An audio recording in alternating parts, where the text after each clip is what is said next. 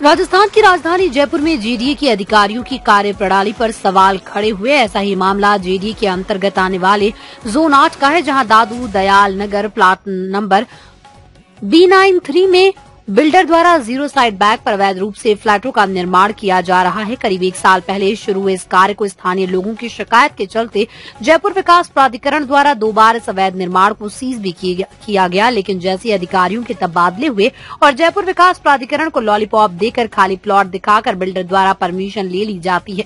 लेकिन मौके पर जयपुर विकास प्राधिकरण के अधिकारियों ने देखा तो पहले से ही बिल्डिंग का चार मंजिला निर्माण चालू है।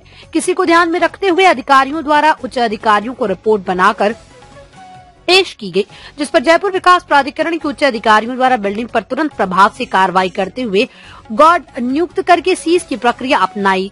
लगभग डेढ़ से दो साल बाद जब न्यूज़ 19 की टीम कवरेज करने पहुँची तो बिल्डिंग निर्माण का कार्य जारी मिला। आपको बता दें कि बिल्डर द्वारा जयपुर विकास प्राधिकरण की बिना परमिशन, कलर पेंट व अवैध निर्माण का सिलसिला लगातार जारी है। क्या जेडीए के उच्च अधिकारियों द्वारा इस अवैध निर्माण को ध्वस्त किया जाएगा? या यूँ ही चाय की चुस्की चलती रहेगी?